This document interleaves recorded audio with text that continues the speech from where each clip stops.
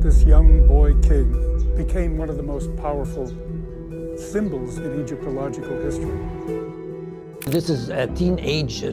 A teenager. Disease. Ah. Yes, maybe 12 or 13 years up to 19 years. Sometimes it's great pain. He couldn't do anything, even walking on his foot. Egypt is famously known for the succession of its pharaohs. As these pharaohs passed on, they were succeeded by other pharaohs as their tradition is. However, there was a young pharaoh boy named King Tutankhamun who died mysteriously, and there have been a lot of intriguing controversial theories and speculations surrounding his death. The whole body is cut into pieces.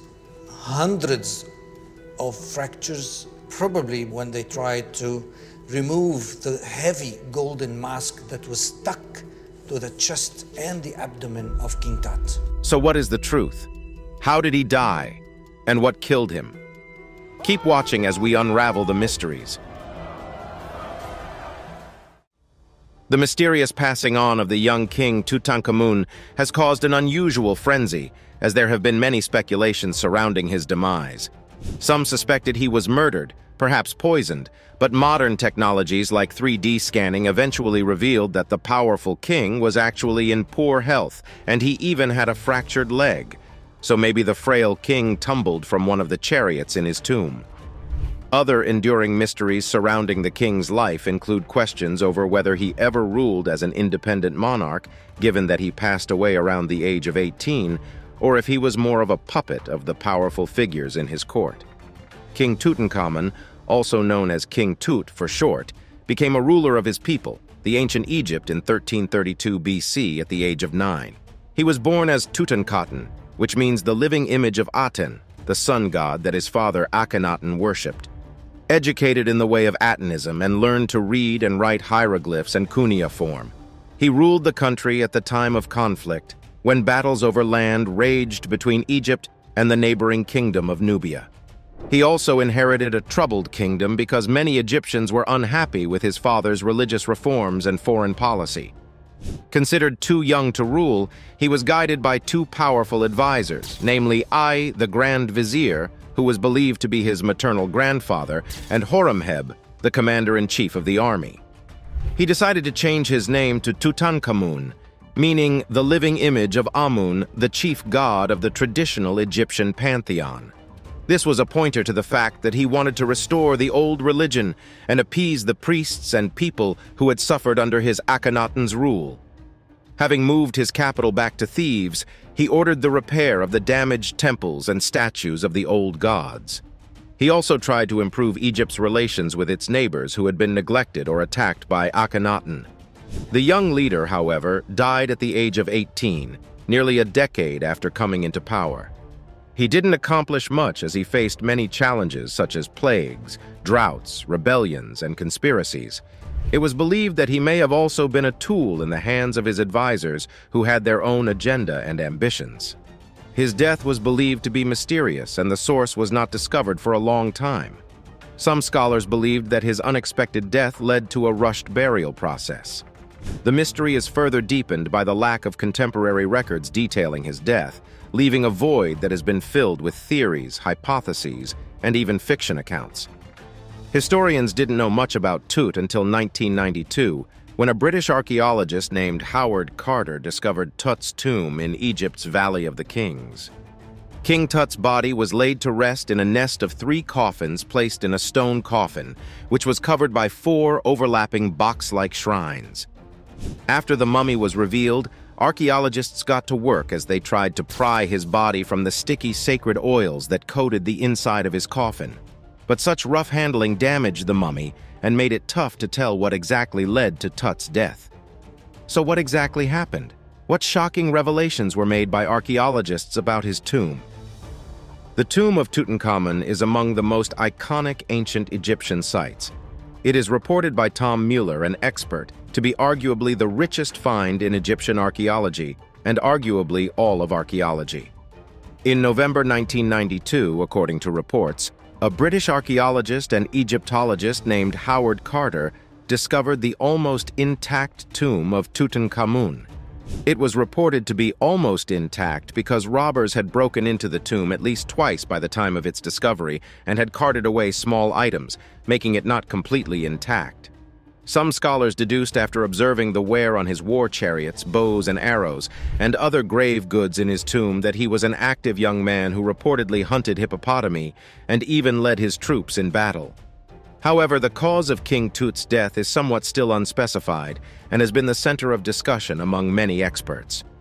Notably, some research has indicated that the young man was physically disabled and suffered from several other notable health issues during his short life. He reportedly had clubfoot, a condition that would have required him to use a cane to walk. The argument is still on, as experts are debating how big the role of a leg injury and subsequent infection, malaria, genetic disease, genetic disease, and other ailments played in his demise.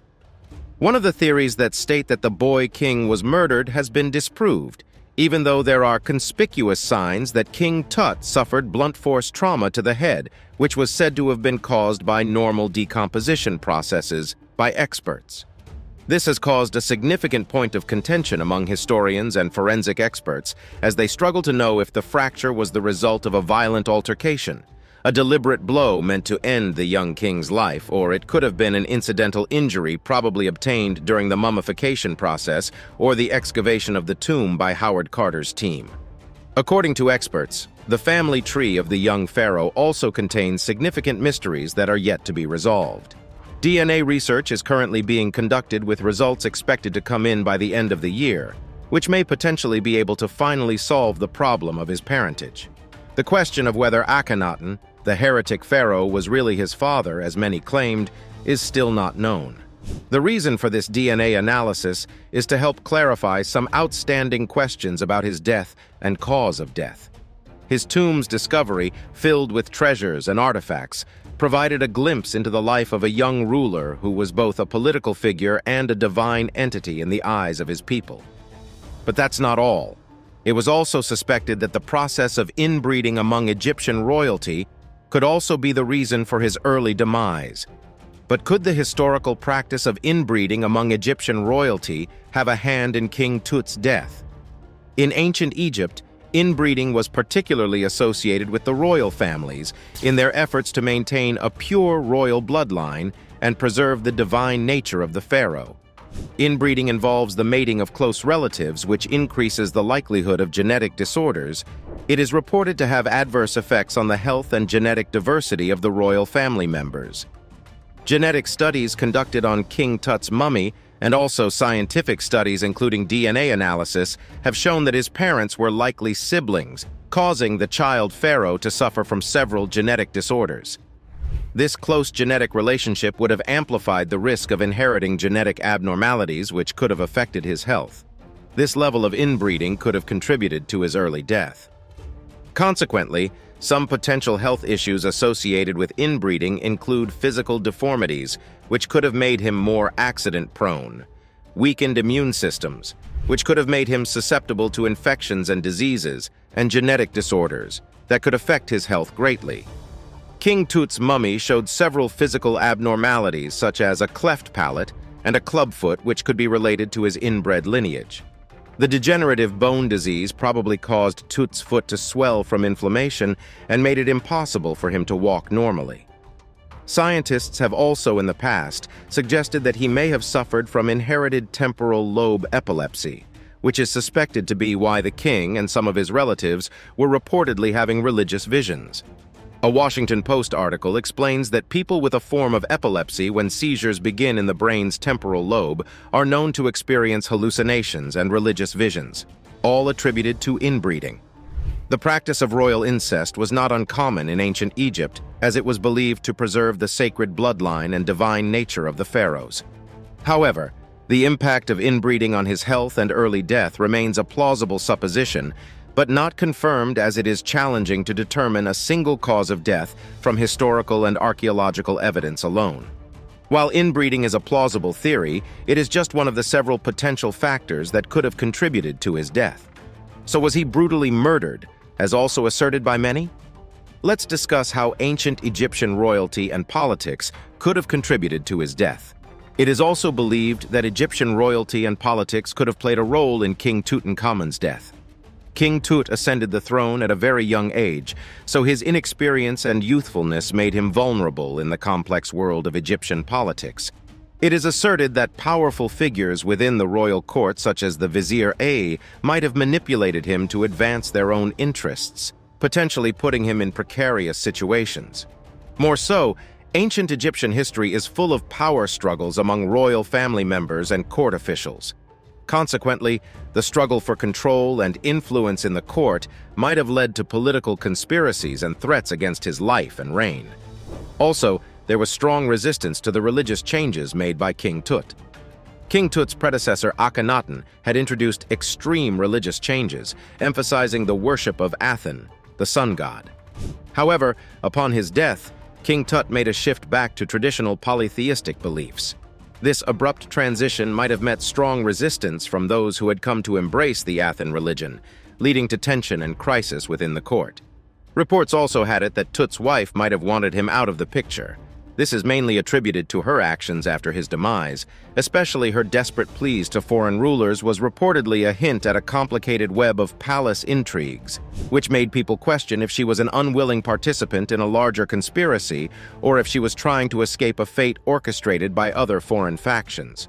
According to reports, the 18th dynasty was a period of geopolitical tensions, so Egypt's interactions with neighboring powers such as the Hittites and Mitanni were marked by diplomacy, squabbles, and intrigues.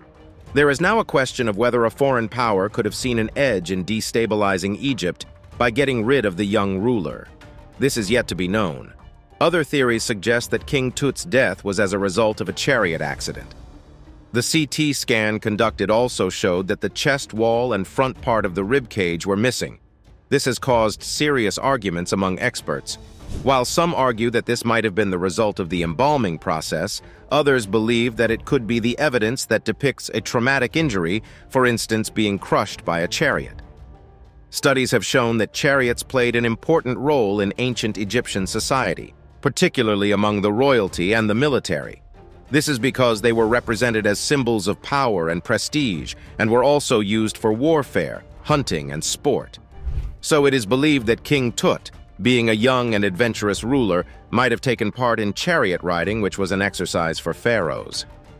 This made the possibility of a chariot accident more believable, especially when Howard discovered King Tut's tomb in 1922, where he found six dismantled chariots each designed for different purposes, including war and ceremonial use. It is now believed that the ancient Egyptians may have considered a chariot death an ill-fated event not fitting for a pharaoh's legacy, Hence, they could have deliberately left out these details from the historical records. This theory has, however, caused controversies, as some factions have argued that the young ruler had a clubfoot, which made it unlikely for him to ride a chariot. And this has encouraged researchers to look elsewhere for answers regarding his death. Consequently, imaging photos of the king's mummy have shown signs of severe bone necrosis, especially in his knee joints. This condition occurs when bone tissue dies due to the lack of blood supply. So it is believed that this could have been the result of traumatic injury or a genetic condition. But given the absence of any recorded history of significant injuries, the latter seemed more convincing. That's not all, as there is another compelling piece of evidence that comes from the descriptions of the young pharaoh in various sculptures and artifacts. These representations show King Tut with an elongated skull, a feature that some researchers believe to be a sign of Marfan syndrome. Marfan syndrome is a genetic condition that affects connective tissue, which provides support for the body and organs. Marfan syndrome can damage the blood vessels, heart, eyes, skin, lungs, and bones of the hip, spine, feet, and rib cage. This Marfan syndrome is an illness attributed to the incest relationship between his parents, which resulted in this genetic disorder in him. In 2020, DNA evidence conducted by a team of scientists gave a detailed examination of King Tut's mummy. This was done using advanced DNA techniques, and their findings were published in the Journal of the American Medical Association. The examination revealed traces of Plasmodium falciparum, the most deadly of the malaria parasites in his system. This was considered a groundbreaking discovery as it provided another theory depicting that the young king might have suffered from severe malaria which led to his death. This same DNA study revealed that the young king had been infected with multiple strains of the malaria parasite, which also suggests strongly that he must have suffered from repeated outbreaks of the disease over his lifetime, which of course was short, and this could have led to a weak immune system that made him more vulnerable to other illnesses. According to reports, malaria was predominant in ancient Egypt. The Nile River, with its annual flooding, created an ideal breeding ground for the female Anopheles mosquitoes, which are the primary vectors for the transmission of the disease.